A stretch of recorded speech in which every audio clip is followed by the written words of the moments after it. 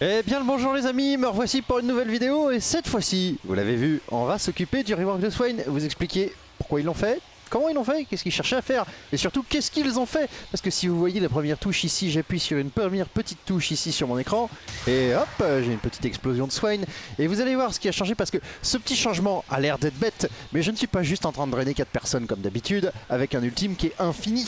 Non non non, ce qui se passe c'est que je peux aussi réactiver mon R une autre fois et je ne suis pas en train de tricher, regardez. Si j'utilise ma mana, j'utilise ma mana. Je peux créer un œil de l'Empire, ce genre de choses là, mais oui, car désormais, le nouveau Swain, vous pouvez toutes les quelques secondes réappuyer sur R. Et ma foi, quand j'ai vu tous les changements, ça a l'air extrêmement intéressant. Et on va se faire ça à peu près comme d'habitude, avec un bloc-notes. Parce que le bloc-notes, ça fait vraiment toute la différence pour vous expliquer toutes les petites différences qu'il y a dans Swain. Et je vais essayer aussi d'éviter de, de vous casser les oreilles avec le R de Swain. Ça a l'air d'être bête, mais euh, ça dure un petit moment. Nous, ce qui va nous intéresser ici, je vais vous montrer tout ça, c'est d'abord pourquoi est-ce qu'ils ont rework euh, Swain? Quels sont les problèmes qu'ils ont eus? Ensuite, quel était le but de Riot Games? Qu'est-ce qu'ils souhaitaient faire avec ça? Et euh, ce qui sort du patch note parce que franchement, il y a des choses, il y a marqué dans les buts, euh, voilà, on veut faire ça, on veut faire ça, et dans le patch note, on dit, hmm, il y a un peu plus. Il y a vraiment un peu plus de ce qu'ils ont fait dans le champion. Et à toute fin, on aura euh, un petit passage, je vous donnerai mon avis rapidement, comme d'habitude. Ce qui nous intéresse, c'est déjà quels sont les problèmes qu'a rencontré Swain. Alors, Swain, c'est un champion, si je le remets à l'écran ici et que je vais dedans, hop, je suis dans la game, vous aviez un champion dont la capacité était principalement d'appuyer sur R, voilà, Là, vous êtes extrêmement content. Ensuite, vous réappuyez, puis après, vous drainiez juste les gens en faisant euh, bonjour, je suis là. Oh là là là là, je suis un Swain. Là, j'appuie sur mon bouton. Il est maxé, je suis niveau 9 et euh, j'ai pas de stuff, mais c'est bon. C'est tout ce que je faisais. Bon. Vous aviez aussi euh, le fait de pouvoir revenir avec votre marque de stun les gens et éventuellement, si vous êtes très bon, d'aller voir au loin. Tout ça, c'était pas très satisfaisant parce que si je vous remets toute l'interface du mode entraînement, vous aviez un œil de l'Empire ici qui est en Z qui nécessitait à être monté pour fonctionner véritablement. Le slow montait vraiment avec la durée du le level du sort. Vous aviez aussi le fait qu'il revenait. Il y a la range qui est dedans, il y a les dégâts. Maintenant, vous allez voir, il y a des changements. Il y a le A qui avait une interaction avec les ranges et les mêlées qui était largement différente, qui a été rééquilibré. Et le E était un sort quand même un peu euh, bizarre dans le League of Legends moderne. Ils en ont profité pour le remodeler. Et ils ont aussi remodelé le R, le passif et ses stats de base. Autant dire c'est le même champion, il a les mêmes stats. C'est pas du tout la même manière dont il va fonctionner. Et dans tous les problèmes, vous aviez donc un truc qui est le A. En fait, c'est 5 projectiles. Vous les voyez là. Tout va bien. Quand vous êtes au corps à corps, vous prenez toujours les 5. Quand vous êtes loin, vous en prenez toujours un, si ce n'est deux. Allez.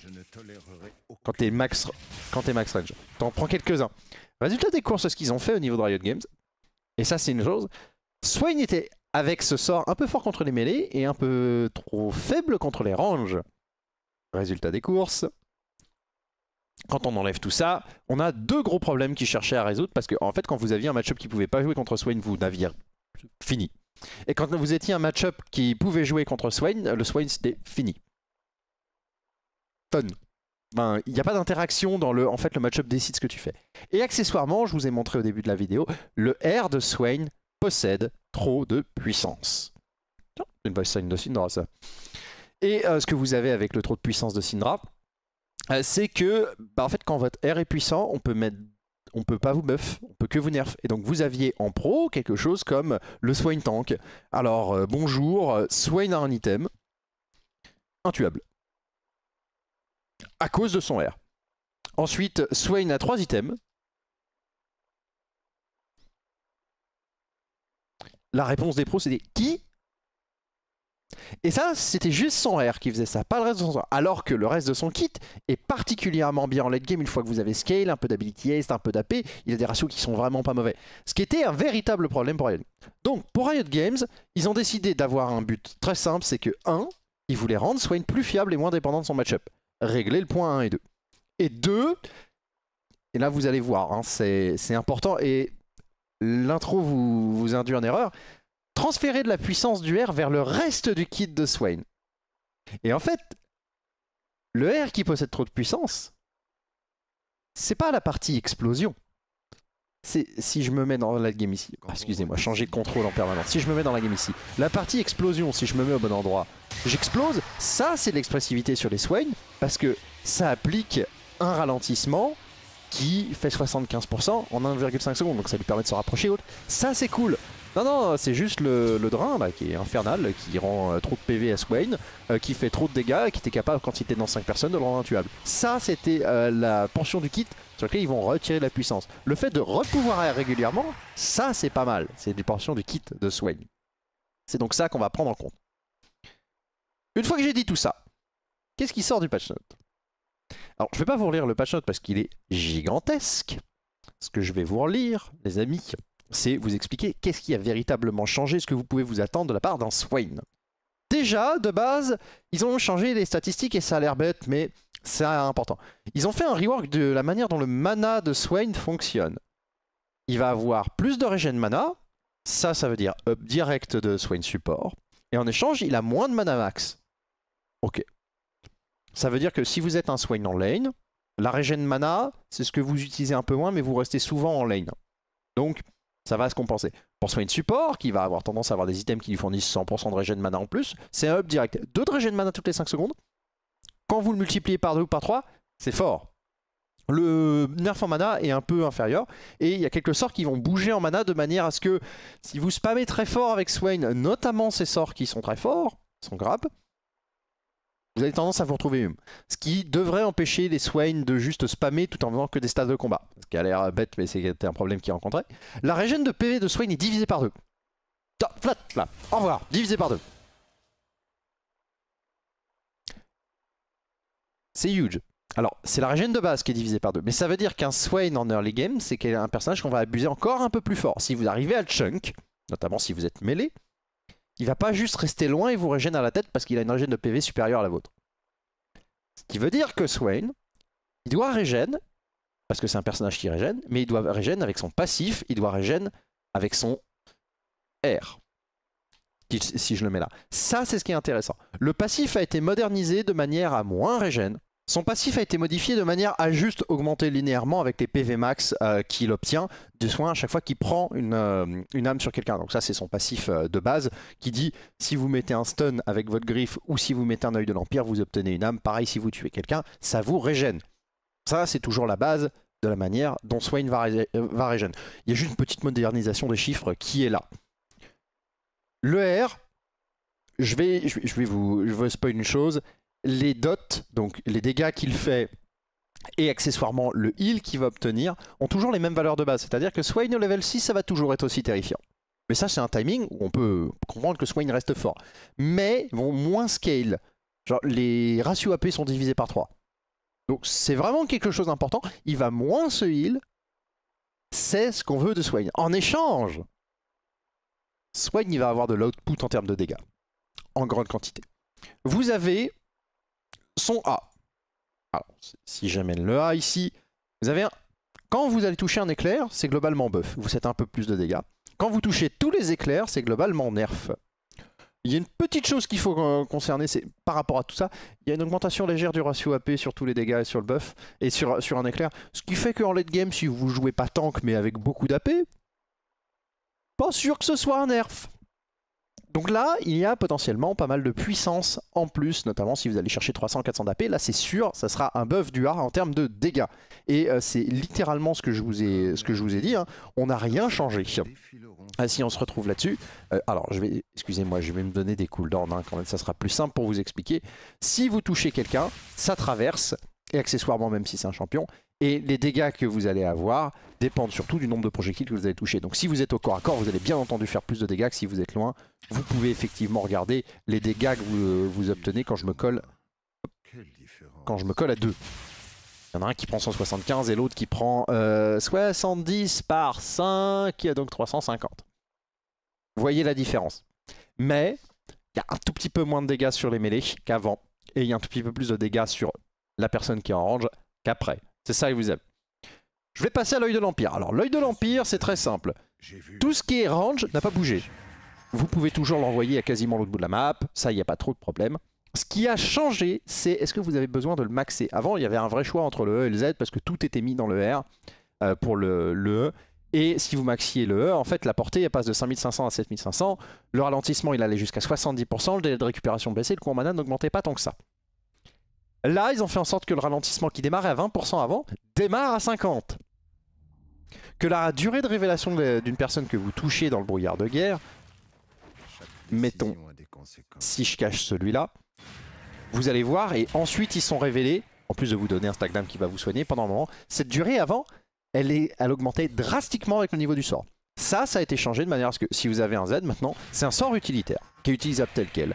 À la fin, il sera intéressant à maxer, mais il est plus aussi intéressant à maxer qu'avant. Et donc, ça va changer probablement les max de A, E, Z à quelque chose où on avait vraiment un doute entre le E et le Z. Ça pouvait éventuellement se dire quand vous, quand vous voyez ce que prenait l'œil de l'Empire dessus. C'est véritablement tout ce que vous avez à savoir euh, sur ce pic, et notamment sur ce sort. Ça a l'air d'être rien, mais il y a quand même de la puissance dans le kit. Vous l'avez au niveau 3 ce sort. S'il est plus puissant, si le ralentissement il est plus de double, même s'il dure moins longtemps, c'est plus sympa. Et la révélation est fixe. C'est tout ce que vous avez à savoir. Le E, là on va parler parce qu'il va falloir que je vous dise. Le E, et c'est pas fini, hein, il y a du monde, c'est un énorme rework. Le sort n'est pas le même. Alors vraiment, juste, c'est pas le même sort. Regardez. Vous avez la capture. Ok, c'est la griffe. Je vais me mettre ici sous ma tourelle. Ok, vous allez me dire, c'est toujours la griffe, ça fait. La véritable différence, c'est que toutes les vitesses des projectiles, le code qui est derrière pour savoir quel champion attraper, le, la manière de fonctionner a bougé. Déjà, première chose, le projectile va être moins rapide vers l'avant. On parle de 30% en moins hein, en late game, parce que le projectile il allait très très très très vite. Par contre, le projectile, il va bien plus vite au retour. On parle immédiatement, je crois que c'est 3 fois plus au rang 1. Là, je suis au rang 2 du projectile, 3 fois plus. Au retour, il va super vite. Il y a une chose que vous allez devoir prendre en compte. Fait plus de dégâts en traversant les, les CS. Fait plus de dégâts en traversant les champions. Ils sont incapables de percevoir. Ça, c'est un vrai changement parce que ça veut dire que Swain va devoir push comme ça. Ou il push avec un œil de l'Empire comme ça. Mais ça, ça va vous arracher un peu votre mana. Alors qu'avant, il y avait l'option juste je fais ça, ça, et si tout va bien, en deux Q-spell, j'ai. Ça, c'est un vrai changement dans la manière dont le champion va, jouer. En échange de ça, le projectile, il revient très vite. C'est-à-dire que si vous, si vous êtes au corps à corps de quelqu'un, c'est pas mal pour viser. Si vous êtes loin, ça bouge pas grand chose. Mais c'est juste que le projectile, vous remarquerez, il va relativement... Il est un peu plus snappy au bout, vous allez le voir quand vous jouez. Il va très très vite avoir le- l'explosion max. Et il fait des dégâts au bout. C'est ça que vous allez apprendre. Il fait des dégâts il explose quand il attrape quelqu'un. Voilà. Ici, en fait, il va faire des dégâts quand il attrape quelqu'un. C'est très important. Les dégâts sont intégralement remis si vous attrapez quelqu'un et pas au passage. Avant, il y avait au passage, il y avait des dégâts et au retour, il y avait des dégâts. Donc si vous étiez au bout, vous preniez des dégâts totaux. Maintenant, c'est pas de dégâts ou dégâts max. Plus ils essaient de me tuer, Je crois qu'il y a à peu près, c'est à peu près tout, mais juste le simple fait que le projectile va se mettre à être beaucoup plus euh, rapide sur le retour, ça va changer toutes les interactions. Parce que vous voyez, je peux pas beaucoup me déplacer. Ça veut dire que si je fais un flash, il revient très vite sur ma position. Au lieu d'être lent, là je flash et machin. Vous voyez aussi ça? Il vous suit. Comme il est rapide, il y a des combos qui sont possibles. Là, c'est un flash en L. Ben, si vous le maîtrisez, il y a des trucs à faire avec ce genre de choses-là pour attraper quelqu'un d'autre qui se repositionne ou autre. Ou, plutôt que juste avant, c'était flash sur la personne. Il y a des choses à faire. Le projectile va vous suivre, c'est plus intéressant à jouer. C'est véritablement tout ce que vous avez à savoir sur le E ici. Je vais aller mettre un endroit où on va pas nous casser les oreilles. Et c'est ça que vous avez. C'est un gros rework. Parce que le sort est totalement différent. Retenez, la vitesse à l'aller va scale moins vite. Et le retour est triplé en early game et augmenté un peu plus tard. Les dégâts à l'aller et au retour sont supprimés. Et c'est les dégâts quand vous attrapez quelqu'un, il y a une explosion autour qui fait tous les dégâts que vous aviez avant. Avec un léger up de ratio. Ça c'est très important. Et pour terminer, euh, j'ai pas euh, fini de vous parler du R en fait parce que euh, Est-ce que c'est le R ou le R, R, R, R, R, R, R? À l'heure actuelle, le R, il est toujours infini. Ça, ça n'a pas bougé. Par contre, euh, vous pouvez avoir, et c'est codé dans le jeu, jusqu'à 100 explosions par activation du R. Alors, c'est un peu frauduleux, c'est juste une limite un peu maximale parce qu'on peut y arriver. Euh, vous avez le droit à une explosion toutes les 8 secondes. Ce que je ne sais pas et que je vais vérifier immédiatement. Non. et d'ailleurs, le tooltip est faux. hein. Euh, ça n'est pas nécessairement. Je vais vérifier si euh, ça s'applique à l'ability haste. Je vais le checker devant vous, ça sera plus simple. Voilà. Parce que en fait, ce qui est très important, c'est de savoir si on peut abuser de ce genre de x100. Parce que si vous avez un R, d'ailleurs le tooltip il met au bout de 8 secondes et toutes les 2 secondes après cela, non, c'est au bout de 2 secondes et toutes les 8 secondes après cela. Petite erreur de traduction, ça va bouger. Mais si vous faites une malfaisance ou ce genre d'items qui vont vous permettre d'avoir beaucoup d'ability haste, voilà, on va essayer de faire un build qui qui cumule de l'ability haste en grande quantité. Et après, ouais, je vais pas me poser de questions, je vais faire des codex méphitiques, je suis à 80%. Et je vais retourner ici, m'enlever la réduction des dégâts pour qu'on sache. Et si j'appuie sur R, au bout de 2 secondes, je peux réactiver. Et c'est 8 secondes quoi qu'il arrive. C'est-à-dire qu'il n'y a pas moyen d'abuser de la mécanique en disant j'ai beaucoup d'habilité, je vais faire R, R, R, R, R, pomper du R. C'est quelque chose d'assez important à savoir. Ça c'est fixe. Ce qui, nous fait, ce qui me fait dire que d'ailleurs, hormis pour la poigne mortifère qui, elle, pour le coup, est un sort qui peut aimer avoir de l'ability haste, vous n'avez pas nécessairement besoin d'avoir autre chose. Si ce n'est que c'est toujours assez sympa d'appuyer sur R régulièrement, ça va vous donner pas mal de puissance. Ça, c'est ce que vous avez à prendre en compte. Les explosions, c'est très puissant. Les explosions, ça va être beaucoup de puissance postée vers Swain qui fait des dégâts, Swain qui peut carry, pas Swain qui juste peut exister à côté des, autres. Et ça va lui permettre, dans des failles qui durent 30 ou 40 secondes, d'avoir en fait 4 fois les dégâts de son R. Résultat des courses, vous comprenez pourquoi tous les dots sont nerfés en scaling. Parce que si vous donnez ces explosions avec un gros slow dessus toutes les 8 secondes, faut enlever en, en 8 secondes, faut enlever les dégâts du dot de manière à ce que vous puissiez jouer en disant là je les mets, ça fait des dégâts et le champion il est équilibré autour de ça, plutôt que en fait si je te colle, euh, si je te colle au train et que j'ai plus de move speed que toi, t'as perdu parce que dans euh, 27 secondes en fait t'as plus de points de vie et je te les ai euh, drainés. euh, ce qui était un peu moins intéressant à jouer que là juste avoir une explosion régulière qui dont le timing est important. Se trouve vous voulez la mettre toutes les 10 secondes au bon moment. Et ça c'est assez sympa. Il y a aussi un dernier point dont on n'a pas du tout parlé. Pas du tout. Euh, Il y a un petit ratio qui a été ajouté sur le R. Allez, euh, on, va revenir une dernière fois. Vous voyez, 33 PV par seconde, avant c'était 15% d'AP euh, sur la deuxième ligne. Ou ici à peu près, en vert. Et maintenant il y a 1,25% de vos PV bonus. Ah, amateur d'Aram, je vais vous, vous faire en sorte que vous m'aimiez. Hein. Voyez ça Vous voyez ce build là, là que je suis en train de faire Vous le voyez «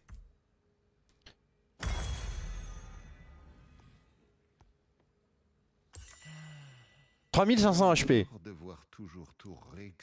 Et le soin est à 50 PV par seconde. Vous avez un scaling sur les PV bonus qui est assez sympa. Prenez ça en compte.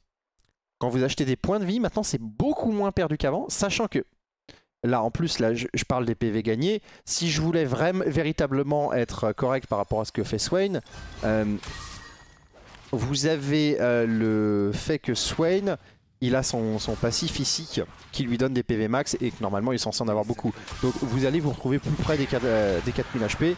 Et là le soin, bon c'est pas la, ça va pas être le même délire. hein. Je vais réactiver les tourelles pour vous montrer un peu. Le soin ça va pas être le même délire. Vous êtes sur deux personnes et vous voyez la tourelle elle me fait déjà plus de dégâts. Alors je vais enlever ça. La tourelle elle me fait déjà beaucoup plus de dégâts euh, par rapport à avant. Imaginez si je rajoutais 4 mannequins. C'est Shift B.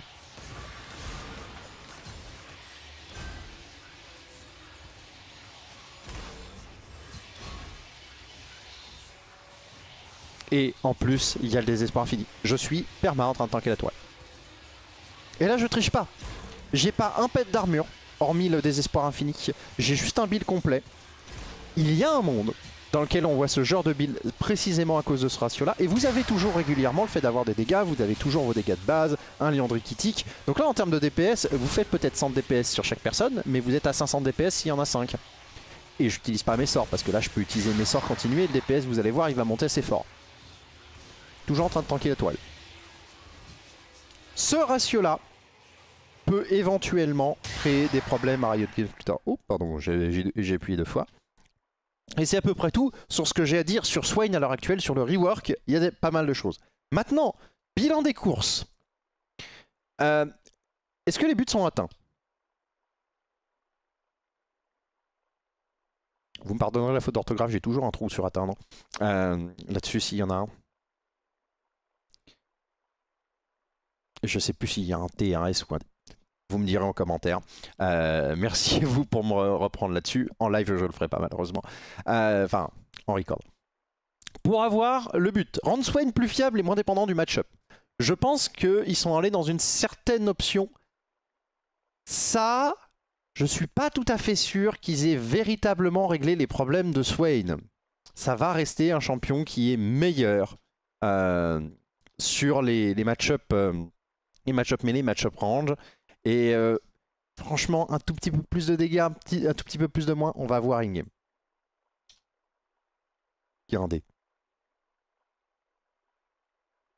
Ouais Je l'ai. Je pense que ça, c'est la bonne. Excusez-moi, hein. on a tous des problèmes sur certains, certains mots. Euh, pour ce qui est de transférer la puissance du R sur le reste du kit, oui, oui, clairement. Le Z est plus fort, euh, tout de suite. Donc en fait, on, a, on peut mettre de la puissance dans le Z au rang 1 et ça permet d'en enlever ailleurs. Le, le A est plus fort. Le E est plus fort aussi. Et tout ça, c'est en plus au détriment de quelque chose qui s'appelle... Alors, je vais y arriver. À vous mettre ça à la bonne hauteur. L'activation du R qui est plus forte. Et le tout, tout ce qui est le R passif, le R pas très drôle, pas très interactif. Et en fait, quand vous rendez tout ça un peu plus fort, ça veut dire que c'est les choses où déjà un soin peut se rater. Donc on peut le rendre plus fort parce que si vous pouvez rater, on peut mettre de la puissance dedans. L'activation du R, c'est quelque chose que vous pouvez esquiver ou tout du moins vous dire vous avez la première, les, deux, les suivantes, vos adversaires peuvent encore réagir. Et si vous, vous êtes capable de rester dans la mêlée, vous savez que dans deux secondes, il y a un R de plus, vous avez des dégâts, vous pouvez y aller. Ça, c'est vraiment sympa. Je trouve que pour l'objectif numéro 2, de sortir Swain du bonjour général sustain que vous allez avoir dans la version tank ici, mais qui est un peu le but de la version tank. Hein, vous êtes là pour tanker. Le, le Swain de base, lui, va pouvoir jouer un peu plus avec ses sorts. Ma véritable question, c'est on l'a peut-être rendu un peu fort. Et pourquoi euh, on fait un rework de ses stats plutôt en faveur d'un Swain support? Euh, Alors je sais que c'est un de ses rôles, mais j'ai l'impression que s'ils veulent juste euh, le mettre support, ouais, contre les mêlées ça changera pas grand chose parce qu'en support vous êtes rarement en range mêlée mêlée. et sur la top lane, ça, ça va être quelque chose qui va le gêner un peu. J'ai hâte de voir ce que ça va donner, parce que c'est vrai que Swain est un personnage qui est relativement oublié, bien que assez sympa, et je trouve que le rework est cool. Maintenant, voyons voir si ça marche. La question que je vais te poser maintenant, c'est est-ce que Swain, en fait, on a accouché d'un bon rework du côté de Riot Games ou de quelque chose de très compliqué qui va juste le rendre plus inéquilibrable? J'attends ton commentaire sous cette vidéo.